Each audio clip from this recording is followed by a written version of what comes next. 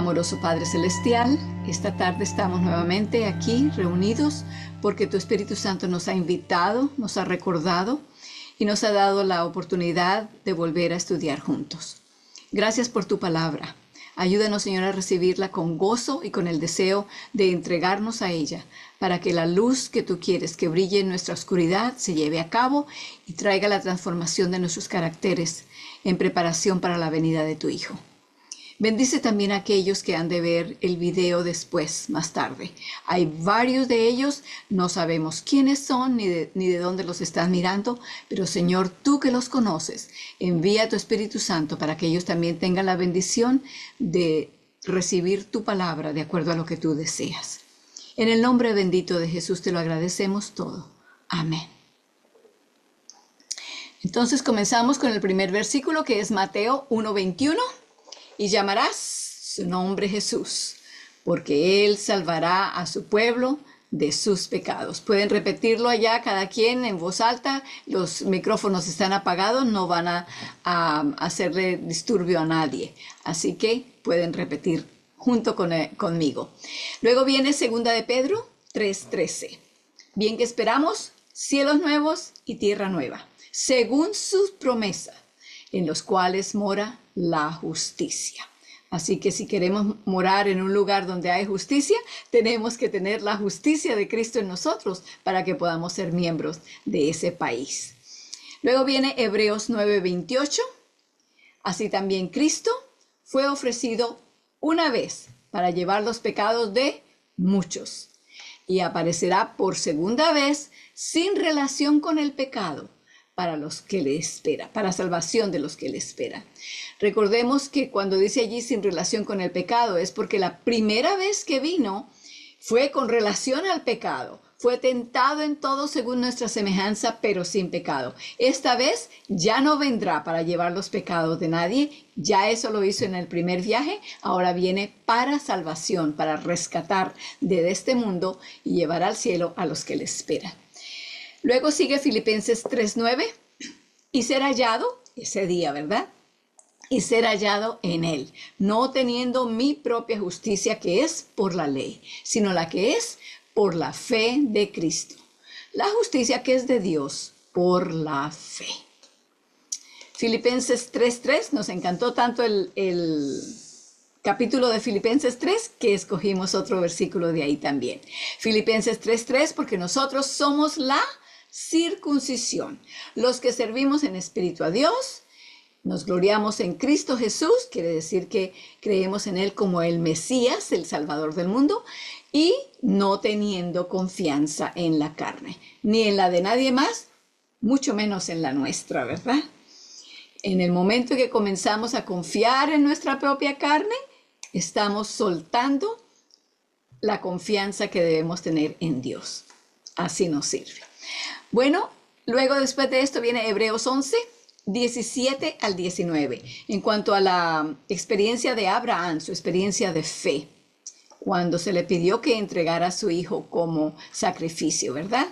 Bueno, comenzamos a repetir, por fe ofreció Abraham a Isaac cuando fue probado y ofrecía al unigénito el que había recibido las promesas, habiéndose, habiéndole sido dicho en, que en Isaac te será llamada simiente, contando o pensando que aún de los muertos es Dios poderoso para levantar, de donde también lo volvió a recibir por figura.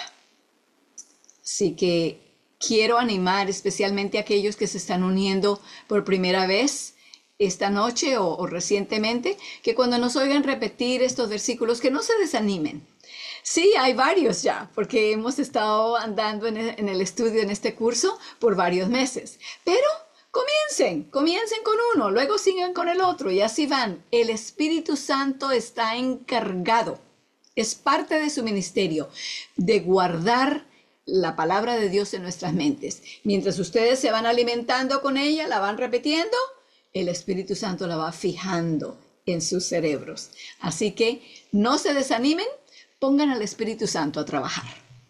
Ok, el que le sigue a ese es primera de Timoteo 2.5. Porque hay un Dios. Asimismo, un mediador entre Dios y los hombres. ¿Quién es? Jesucristo hombre. Amén. Luego a ese le sigue Primera de Corintios 15, 26, una esperanza muy grande, una promesa que, a, a la cual todos nos aferramos. Y el postrer enemigo que será deshecho será la muerte. Será el postrero, pero será deshecho. Gloria a Dios. Gloria a Dios por eso. Luego le sigue Habacuc 2.4.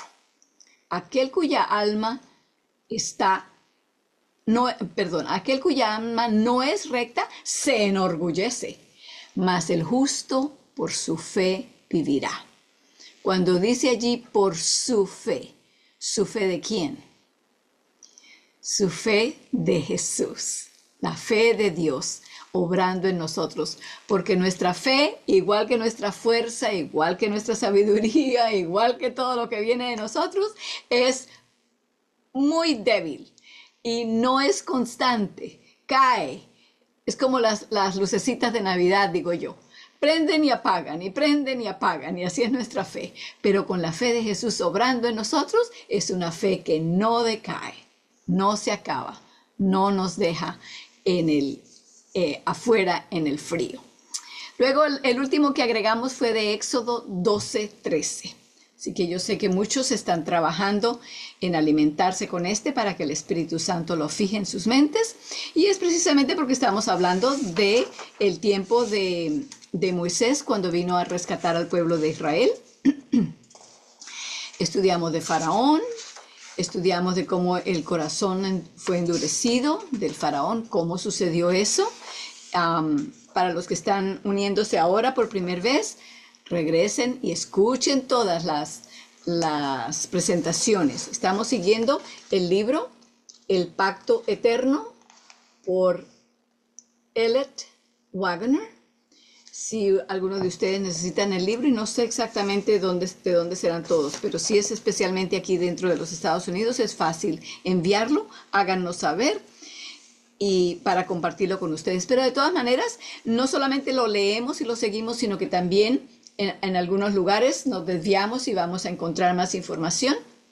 De manera que todos, ya, ya, sea que tengan suficiente conocimiento por muchos años en cuanto a la Biblia y sepan de varias historias y, circunstancias y experiencias, o sean que apenas están comenzando, que todos podamos tener el, el conocimiento que necesitamos tener. Entonces, el último, como dije, fue de Éxodo 12, 13 y se refiere a la forma en que Dios instruyó a los israelitas lo que debían hacer en preparación para la décima y última plaga. De eso es que estamos ahora precisamente hablando. Estamos hablando de la primera Pascua y la última Pascua, etcétera, en el, en el 20 capítulo del libro. Y entonces Éxodo 12, 13 dice así, repitámoslo juntos. Si lo tienen enfrente de ustedes, pueden leerlo junto conmigo también. Y la sangre os será por señal o símbolo esa señal allí es como un símbolo. En, la, en las casas donde vosotros estéis. Y veré la sangre y pasaré de vosotros o pasaré por alto. Y no habrá en vosotros plaga de mortandad cuando heriré la tierra de Egipto. Esos son los versículos que tenemos hasta ahora y pronto vamos a empezar a repasarlos en mitad con eso no, tomamos mucho tiempo aquí. Pero eh, para los que han estado esta noche por primera vez, si van a las grabaciones de antes, allí los van a oír y pueden entonces tomar nota de ellos. Hagan, eh, eh, muchas veces recomiendo que los escriban, por ejemplo, en tarjetitas, de de manera que la pueden llevar en su bolsillo, en su cartera, o las pueden llevar en el carro y cuando llegan a, una, a un semáforo rojo pueden parar y leerlo, leerlo, repasarlo. O están en una oficina de un médico y están esperando, allí pueden repasar y repasar. O salen a caminar y hacer su ejercicio, llévense la lista o lo pueden escribir en páginas. Los míos los tengo en páginas y me los llevo cuando voy a caminar por la mañana, voy repitiendo me voy alimentando con la palabra del Señor. Es muy bueno porque mientras están haciendo ejercicio hay más oxígeno que está llegando al, cerebro mucho más fácil también entonces de recordarlos. Le ayudamos hacia el Espíritu Santo con la tarea que él tiene. Entonces les animo a que por favor lo sigan repasando, se lo sigan aprendiendo y repasen también el material que ya hemos estudiado. Ya ustedes saben esto, me han escuchado decirlo bastantes veces. Los animo a que sigan haciéndolo para que se forme parte no solamente de lo que saben, sino de lo que son sea la, la forma en que pensamos y procesamos todo lo que estudiamos de la Biblia. Así que entonces vamos a entrar ahora al estudio mismo.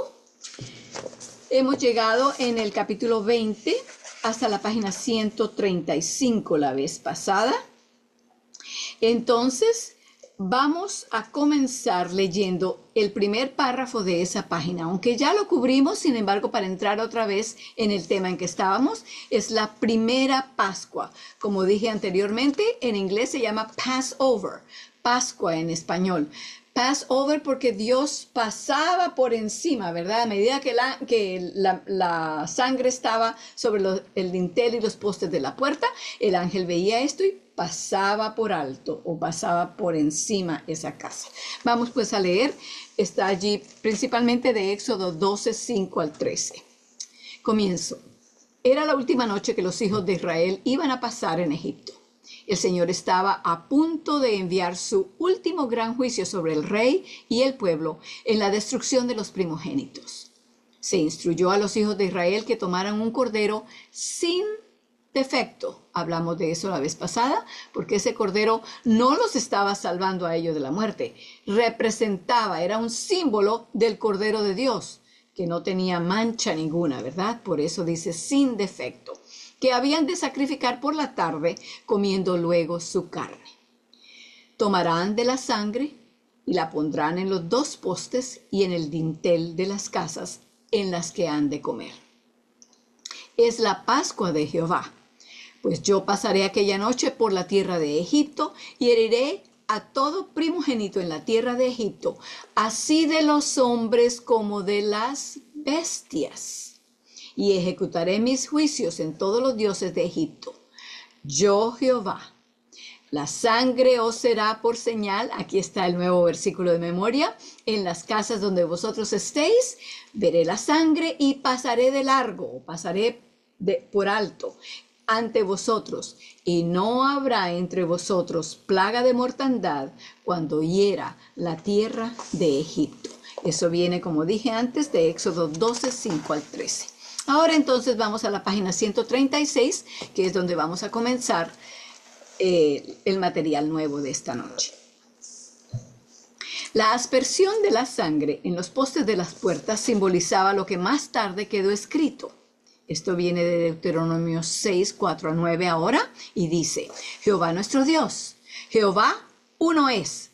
Amarás a Jehová, tu Dios, de todo tu corazón, de toda tu alma y con todas tus fuerzas.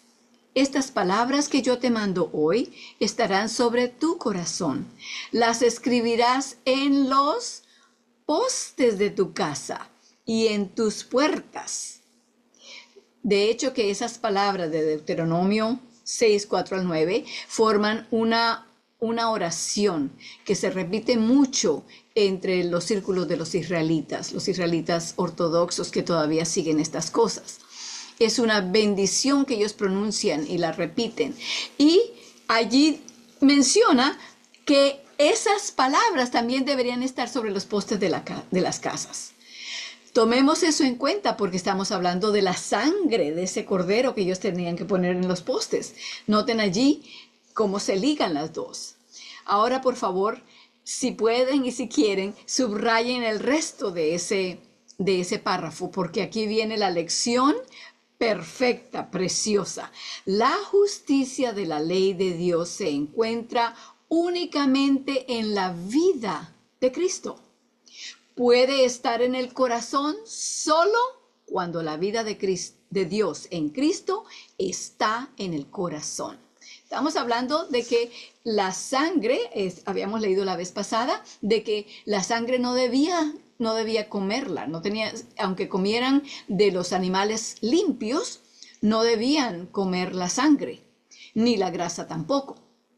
¿Por qué? Se decía ya en la página 135, leímos la vez pasada de Levítico 17, de, la razón es porque la vida está en la sangre. La vida del animal está en la sangre, entonces no debían tomarla. Pero la vida de Cristo también está en su sangre y por eso su sangre es la que nos salva. Sigo leyendo allí. Y ustedes notaron allí hay un error eh, tipográfico. Eh, tachen las palabras donde dice puede estar en el corazón solo. Pues, tachen las palabras en, tanto, en, cuanto no tiene sentido la oración de otra manera. Así que puede estar en el corazón solo cuando, escriban la palabra cuando, cuando la vida de Cristo, perdón, la vida de Dios en Cristo esté en el corazón para limpiarlo de todo pecado. Sigo leyendo el resto de ese párrafo que les, les sugerí que subrayen. Poner la sangre en los postes de la puerta de la casa es lo mismo que escribir la ley de Dios en los postes de la casa y en las puertas, y era indicativo de morar en Cristo, de estar incorporado en su vida. Vayamos entonces, abramos nuestras Biblias al, libro de San Juan, en el Nuevo Testamento, Mateo, Marcos, Lucas, Juan. Juan, capítulo 15, versículo 5. Allí también vamos a ver, recuerden que las, las casas donde ellos estaban era donde vivían, donde moraban, ¿verdad? Y está hablando allí de incorporarse, de incorporar la vida de Cristo en la nuestra. En Juan capítulo 15, versículo 5, encontramos a Jesús que está hablando. Si ustedes tienen la versión de la Biblia que muestra en, tinta roja eh, las palabras de Cristo, van a encontrar que estas palabras están en rojo. 15.5 dice, yo soy la vid, vosotros los pámpanos, o sea, las ramas. El que está en mí y yo en él, este lleva no solamente fruto, sino mucho fruto, porque sin mí nada podéis hacer. Muchos de nosotros tal vez conocemos ese versículo anteriormente es de lo mismo que estamos hablando aquí. El poner la sangre en el dintel, el poner la palabra de Dios, lo que Dios les había, les había encomendado, quería decir que ellos estaban morando en eso, porque ese era el lugar donde moraban, donde vivían, donde habitaban. Cristo quiere habitar en nosotros y que nosotros habitemos en Él. De esa manera podemos llevar mucho fruto, porque sin Él puede que creamos que tenemos fruto, pero será un fruto plástico o de madera, un fruto que no es real, artificial solamente. El siguiente párrafo ahora, por favor, en la página 136. Cristo es el Hijo de Dios, cuya delicia consistía en hacer la voluntad de su Padre.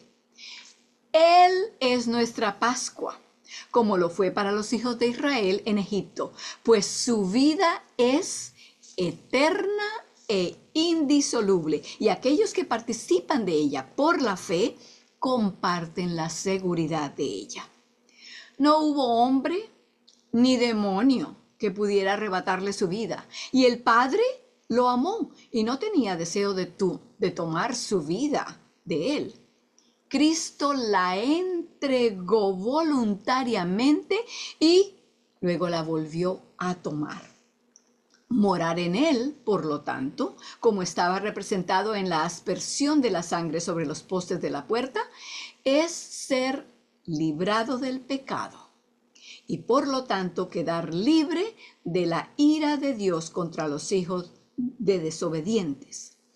Vuelvo nuevamente a, a, recalcar, porque aparece allí, y tal vez se nos puede haber olvidado, cuando menciona la ira de Dios, el furor de Dios. No debemos tener ese, ese cuadro que tenemos cuando hablamos de alguien que está airado.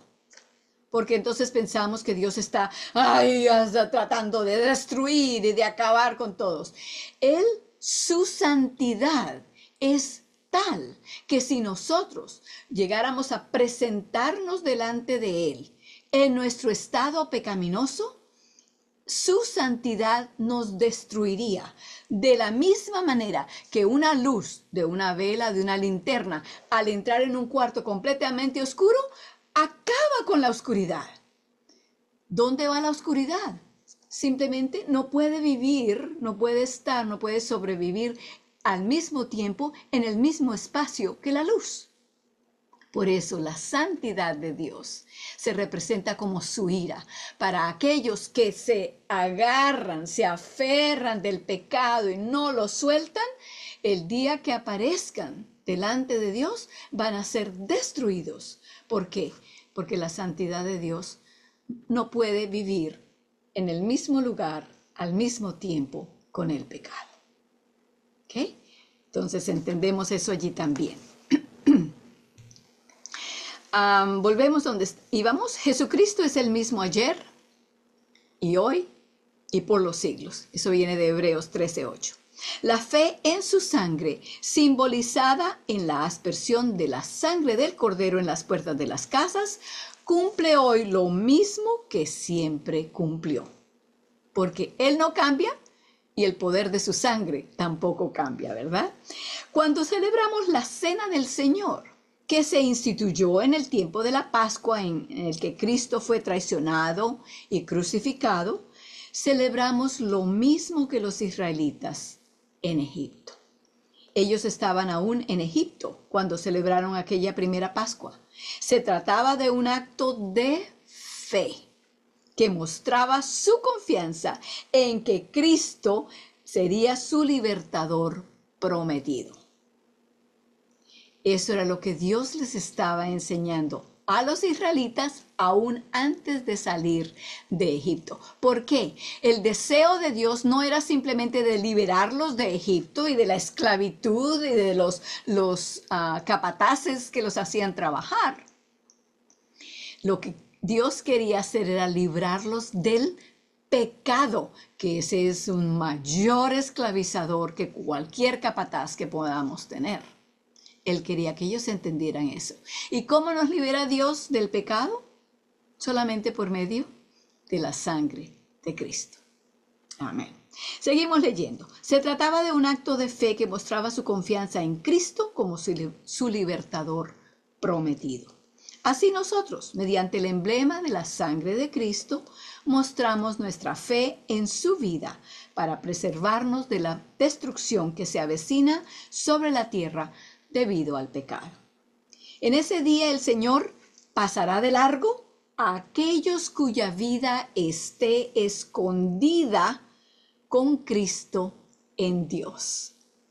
Así como estaban ellos escondidos en la casa que estaba cubierta con la sangre, ¿verdad? De la misma manera. Seguimos. Como un hombre perdona al hijo que lo sirve. Esto viene de Malaquías 3:17. Y sucederá así por idéntica razón, porque Dios salva a su propio Hijo y los hombres son salvos en Él. La página 137 ahora. la última Pascua. Entonces, acabamos de estudiar en cuanto a la primera Pascua, la primera vez que se, se celebró. Ahora vamos a ver la última Pascua. Cuando Cristo celebró la última Pascua con sus discípulos, dijo, esto viene de Lucas 22, 15 y 16. Cuánto he deseado comer con vosotros esta Pascua antes que padezca. Porque os digo que no la comeré más hasta que se cumpla en el reino de Dios. Por favor, subrayen las dos próximas líneas, la oración que viene ahora. Esto nos muestra que la institución de la Pascua tenía relación directa con la venida del Señor para castigar a los impíos y librar o liberar a su pueblo. Nos damos cuenta como allí aquellas cosas que están en el Éxodo del Antiguo Testamento de hace tantos miles de años, era todo un libro de lección para aquellos y para nosotros, mostrando la la manera tan eficaz que la sangre de Cristo es la liberación para nosotros del pecado. Seguimos leyendo donde estábamos. Ahora lo que vamos a leer viene de 1 de Corintios 11, 26 y dice, así pues, todas las veces que comáis este pan y bebáis esta copa, la muerte del Señor anunciáis hasta que Él venga. Por favor, subrayen la siguiente también, dos, tres líneas. La muerte de Jesús no sería nada sin la resurrección. Y la resurrección de Cristo significa ni más ni menos que la resurrección de todos aquellos que están escondidos en su vida. Aquellos que han muerto, que están dormidos esperando la segunda venida de Cristo, están allí escondidos bajo la sangre de Cristo y escucharán su voz cuando Él regrese. Seguimos leyendo. Es mediante su resurrección que nos engendra a una esperanza viva de herencia incorruptible incontaminada, que no se desvanece, y esa misma fe y esperanza referidas a la misma herencia, las mostró el verdadero Israel en Egipto. La herencia que esperamos está guardada en los cielos, y la herencia que fue prometida a Abraham, Isaac y Jacob, herencia para la cual estaba Dios preparando a los hijos de Israel, era mejor. Esto es celestial. Era mejor porque era celestial, ¿verdad? Seguimos ahora con el siguiente párrafo. De allí vamos a encontrar varios versículos. Algunos de ellos ya los hemos leído. Por ejemplo, dice, ver Éxodo 12, 5 al 14. Lo leímos esta noche precisamente para comenzar nuestro estudio. Así que vamos a agregar los otros. Tengan sus Biblias listas. Voy a leer la primera, la primera um, oración de ese párrafo. La aspersión de la sangre es el gran lazo que nos une en nuestra experiencia cristiana con el antiguo Israel. Veamos entonces en Hebreos, el Nuevo Testamento, siguen de donde estaban en Juan, siguen hacia adelante como que va hacia Apocalipsis y encontrarán en Hebreos. Van a ver a Hechos, Romanos y luego las cartas Gálatas, Efesios, Filipenses, Colosenses, etcétera. Sigan para adelante, no vayan muy rápido y allá van a encontrar a Hebreos. Hemos estado varias, varias veces allá, así que yo creo que ya lo pueden encontrar más fácilmente. Hebreos 11, versículo, versículos 27 y 28. Janet también lo pone en el chat, lo pueden leer de allí también. 11, 27 y 28. Hebreos 11, 27 y 28. Y dice, por fe dejó a Egipto, está hablando de Moisés, no temiendo la ira del rey, porque se sostuvo como viendo al invisible. Aquí no está hablando de cuando Moisés salió corriendo, huyendo del rey, porque había matado a un egipcio. Esa no es la ocasión de la cual esto habla. Fue la segunda vez cuando ya regresó para sacar al pueblo de Egipto. En esa ocasión dejó a Egipto no temiendo la ira del rey. La primera vez había salido por miedo, esta vez no temía al rey, porque se sostuvo como viendo al invisible. Noten que la palabra invisible está con I mayúscula, se está refiriendo a Dios. Versículo 28. Por fe celebró la Pascua y el derramamiento de la sangre para que el que mataba a los para que el que mataba a los primogénitos no los tocase.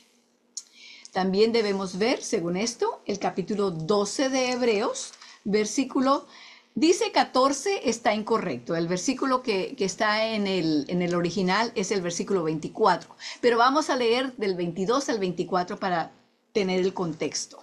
Hebreos 12, 22 al 24. Están ahí cerca, así que pueden encontrarlo fácilmente.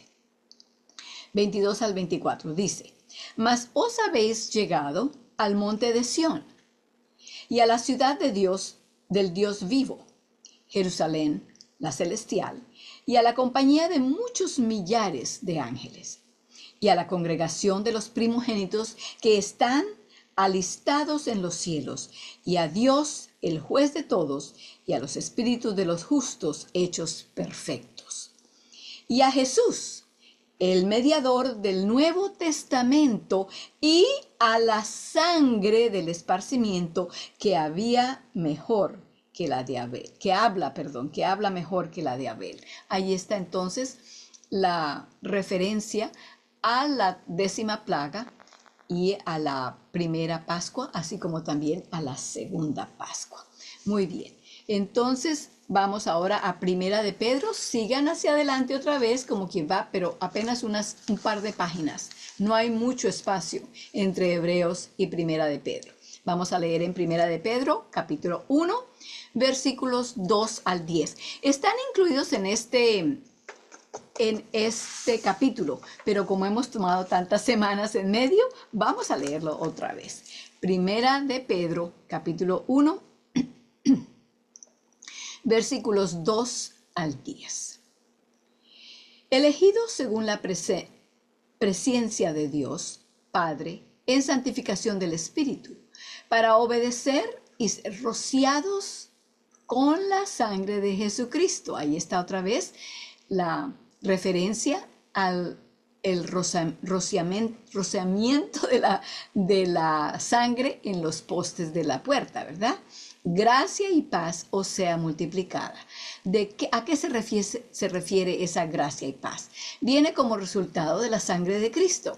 ¿Y para qué nos ayuda? ¿En qué forma todavía nos ayuda? Sí sabemos que con el perdón de nuestros pecados y limpiarnos del pecado, pero hay cosas todavía aún más prácticas que esas, que encontramos diariamente. Veamos a ver. Y por favor marquen esto porque yo sé que va a ser de mucho aliento cuando pasamos por tribulaciones y circunstancias difíciles. Dice, bendito el Dios y Padre de nuestro Señor Jesucristo, que según su grande misericordia nos ha regenerado en esperanza viva por la resurrección de Jesucristo de los muertos, para una herencia incorruptible y que no puede contaminarse ni marchitarse, reservada en los cielos.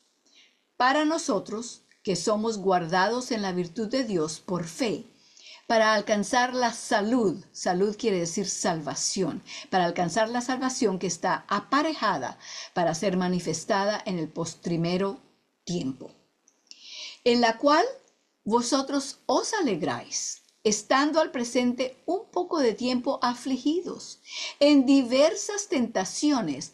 Tentaciones allí quiere decir pruebas, si es necesario, para que la prueba de vuestra fe, mucho más preciosa que el oro, el cual parece bien que sea probado con fuego, es refinado por fuego, ¿verdad? Sea hallada en alabanza, gloria y honra cuando Jesucristo fuere manifestado. Así que, ¿de qué manera vamos a mirar esas pruebas? Y aflicciones que se nos presentan a todos de una manera o de otra y tarde o temprano. Las vamos a mirar como la manera en que Dios está refinando nuestro carácter, purificando nuestro carácter para recibir esa salvación al final, ¿verdad? Ya recibimos la salvación, quiero, quiero que entendamos eso, pero la salvación de la presencia del pecado, porque ya fuimos salvos del poder del pecado no tenemos que pecar. La sangre de Cristo nos dio esa victoria. La, la victoria de Cristo sobre el pecado nos da esa victoria sobre el poder del pecado.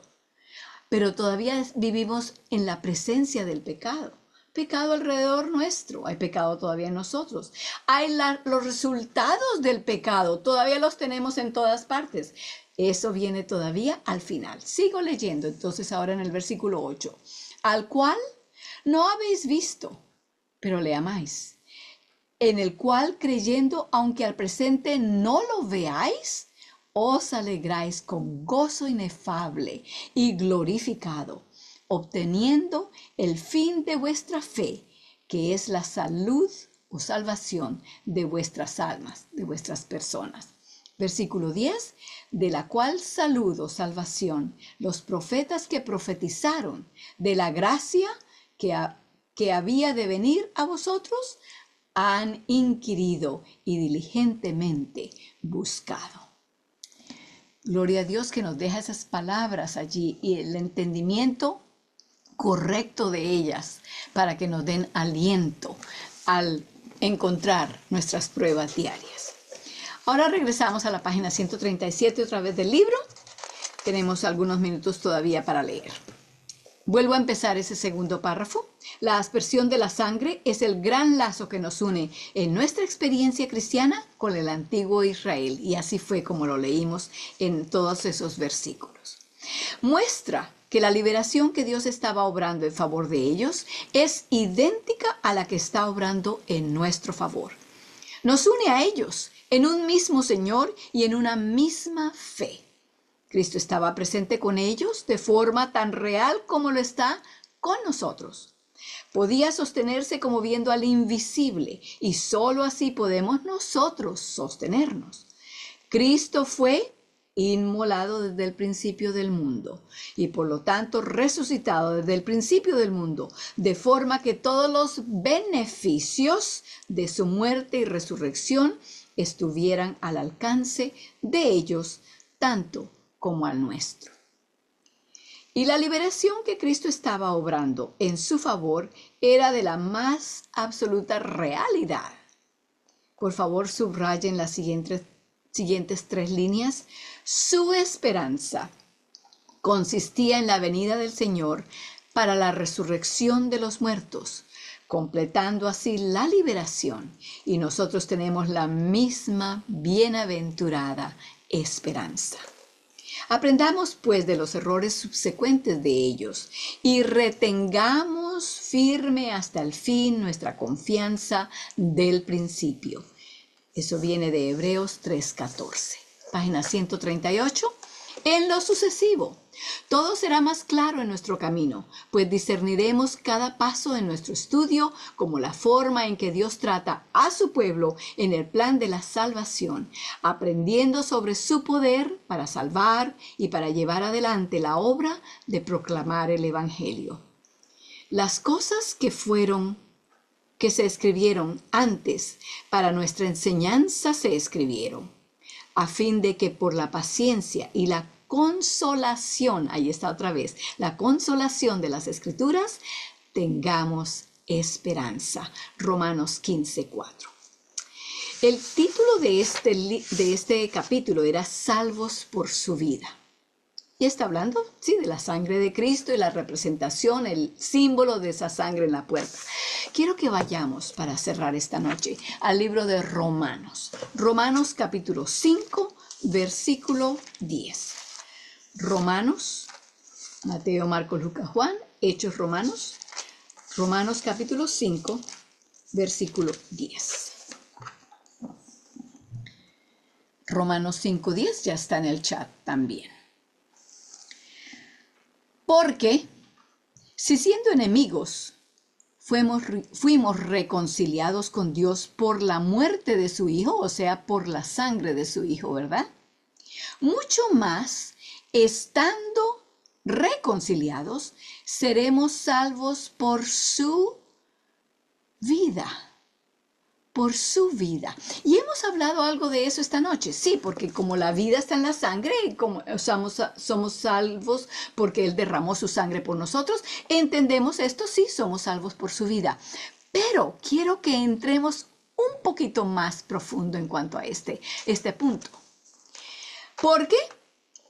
Como digo, Cristo hubiera podido venir el jueves de la Pascua y hubiera podido comer la última Pascua con los discípulos y hubiera podido ser arrestado ese jueves de noche, llevado ante los tribunales toda la noche, la mañana siguiente nuevamente de un tribunal y de paso para el otro y regrese al otro otra vez él hubiera podido hacer todo eso y haber muerto el viernes como murió y haber descansado en la tumba el sábado y haber resucitado al, amanecer el domingo.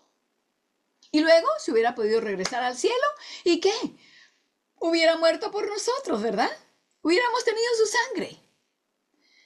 Ah, pero aquí viene el punto que quiero que, entendamos más profundamente. La muerte de Cristo es muy importante. La resurrección, resurrección de Cristo es muy importante porque sin la resurrección su muerte no hubiera valido de nada.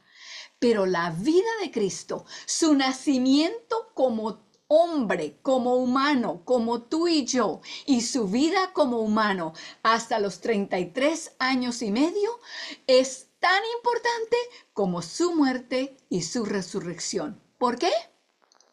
Porque vivió bajo la voluntad de su Padre, sometiendo su voluntad bajo la voluntad del Padre en todo. En Juan 15, 5 esta noche estudiamos de que sin Él no podemos hacer nada. Y Juan 5, 30, Él dice, Él habla y dice, yo no puedo hacer nada de mí mismo. Entonces, esa vida que Él vivió bajo la voluntad de su Padre es la que Él nos ofrece y nos da y es la que nos da la victoria sobre el pecado. De manera que Romanos 5.10 dice mucho más de lo que se ve nomás en la superficie. Somos salvos por su sangre, somos salvos por su vida, somos salvos por su muerte y por su resurrección. Cada uno de esos elementos es tan importante como cualquiera de los otros. Gracias a Dios que nos dio a su Hijo y nos lo dio completo, entero. No nos dejó ni un pedacito sin entregarlo por nosotros. ¿Estamos verdaderamente agradecidos por eso? Si así es, le permitiremos al creer en Él y al entregarle nuestra voluntad, de que Él haga su voluntad en nosotros y nos transforme para estar listos para su segunda venida. Y esta vez no como un bebé, sino como Rey de Reyes y Señor de Señores. Les invito para que nos postremos de rodillas para cerrar con una oración.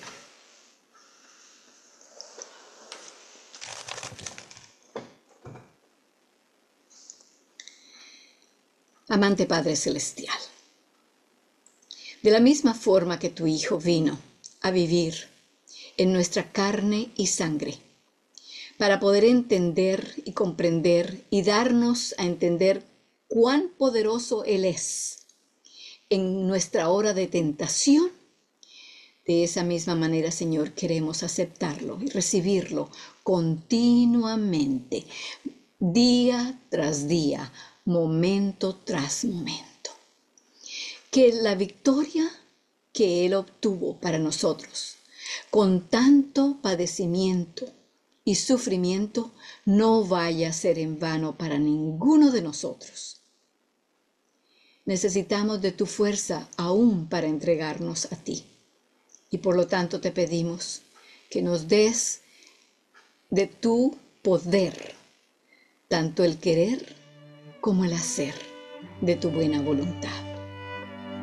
Te lo agradecemos en el nombre de nuestro Salvador Cristo Jesús. Amén.